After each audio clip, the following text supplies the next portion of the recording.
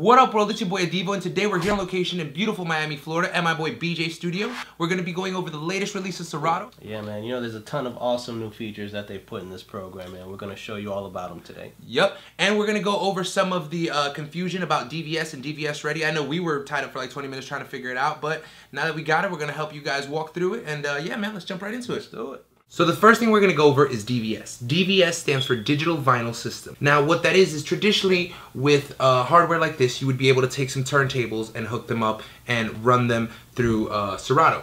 But because of the advancements in technology, now everything pretty much has USB. So some of the higher end controllers already have DVS enabled. Um, now other controllers like the Pioneer DDJ SX and the SX2 are what is called upgrade ready. So you would purchase the license for $169 and then you would be able to essentially use your controller as a box to hook up external turntables without the need of this or one of the mixers. So that's one of the new key features in Serato is that it allows you to use digital vinyl systems other than the traditional uh, TTM57 or Rane 62 or any of the, those Rane products. Now, uh, a lot of Pioneer controllers, Akai controllers, Allen and Heath, um, all you have to do is take your turntables, plug them in, ready to go. They pretty much have the Serato built in now. So once you've purchased your Serato expansion pack, or if you already have a Serato enabled controller like the DDJ SC, there's a couple settings that you need to tweak before your turntable will be able to manipulate your music using the DVS system. Uh, first you have to just go into your setup and go over to the expansion packs tab and then you click right here on vinyl CDJ control and then you enable vinyl CDJ control. Hit yes here at this little prompt get back out and then you're gonna go back out to your main screen and then on the controller that you want to manipulate you're gonna go ahead put that in relative mode. That way it talks and now we're gonna start our music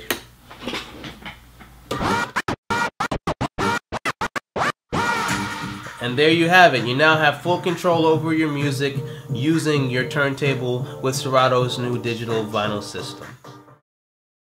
So one of the cool new features that I want to go over in Serato uh, used to be an Easter egg called Buffer King. It's now called Colored Waveforms. Essentially you go into the setup menu and you click on Library and Display and then go to EQ Colored Waveforms.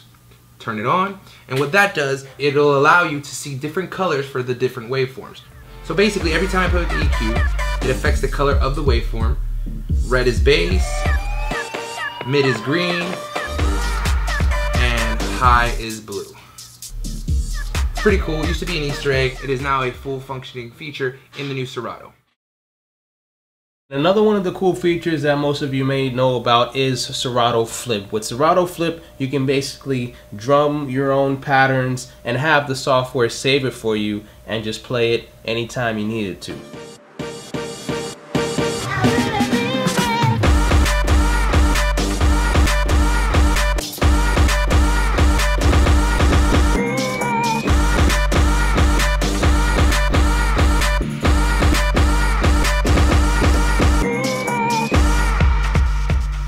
That's a quick demonstration right there of how you use Serato Flip.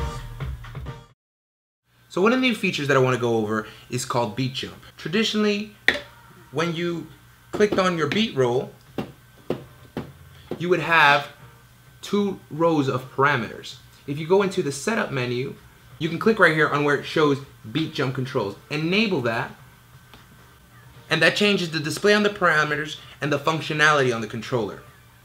Now with beat jump enabled, you can do some pretty cool stuff like this. And if you turn on slip roll, you can add more to those tricks.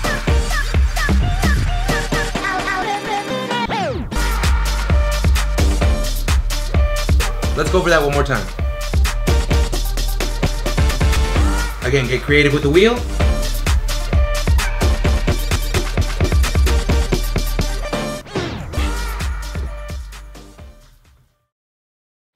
For us video DJs, there's a lot of new things included in this update as well.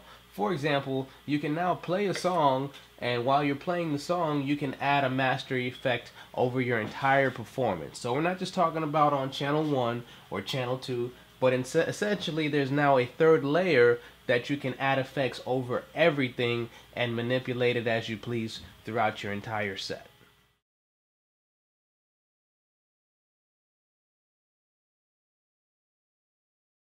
This is one of the uh, older features. We all know when we used to hide the track names and we could see them for a split second so that other DJs wouldn't steal our tracks. It is now a full feature in Serato as well. Well, yeah, guys, thanks for watching. I hope you enjoyed the video on the new Serato. Uh, shout out to BJ for letting us use this place to shoot the video. Don't forget, follow him on Twitter, Facebook, Instagram. At DJBJ Live. If you guys enjoyed the video, uh, please comment, subscribe. Don't forget to share. Peace.